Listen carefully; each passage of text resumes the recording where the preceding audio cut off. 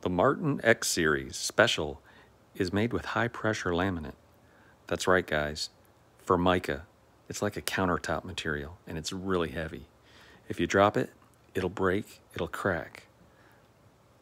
I glued back together the cracked piece with West Systems epoxy and then I used fish glue squeezed in with a feeler gauge to glue the top back down to the side.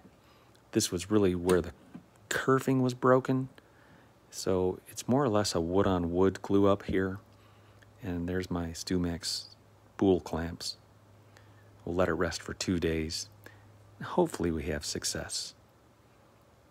Catch you later.